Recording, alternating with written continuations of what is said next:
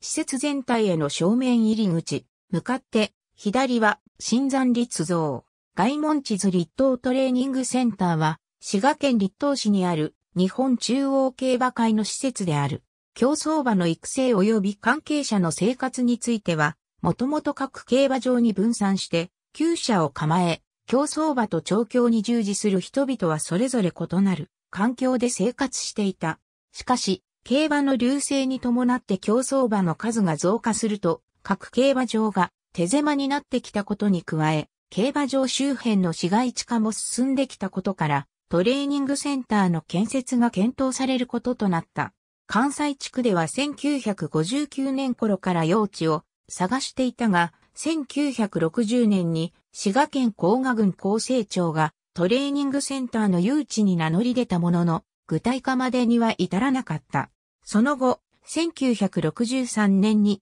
滋賀県久留本郡立東町が誘致運動に乗り出し、現地調査の結果1964年7月に候補地に選定された。土地買収に関する協議は地元の誘致運動を背景にしていたため順調に進展し、1965年12月21日に用地売買契約が締結された。その後、1967年11月に敷地造成工事着工。会場に先立つ1969年8月に中京競馬場から人馬が移動し、調教を開始。同年11月11日に会場式が行われ、阪神競馬場から人馬が移動した。1970年12月には、京都競馬場からも人馬が移動し、関西地区の全厩舎が集結した。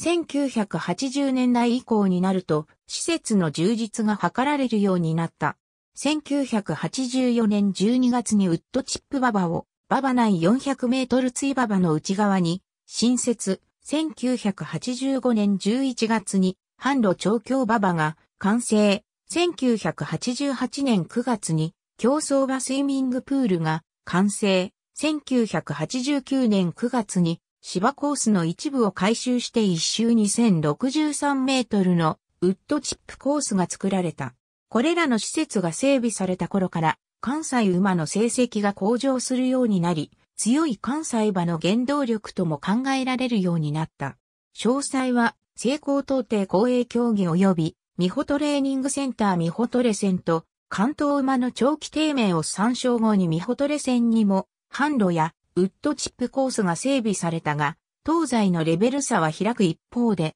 美穂所属の調教師が関西での出走を前に、立東へ事前入球させるケースが2000年代以降顕著になり、馬主に至っては所有馬を美穂から立東へ天馬やさせる例も現れるようになった。詳細は、美穂トレーニングセンター、不良資産家及び国枝久志立東留学への見解を参照もともと関西の競馬場は関東と比べて坂がない平坦なコースが多く、関西馬が関東に遠征する際には、競馬場の急坂による負担により、馬体の故障が相次いでいた。特に1981年の皐月賞では、関西の重賞勝ち馬が、いずれも故障のため回避するという事態に見舞われていた。そこで関西馬の低迷が坂にあると考えた関係者は立東トレーニングセンターに販路コース設置を求め続け1985年、立東トレーニングセンターに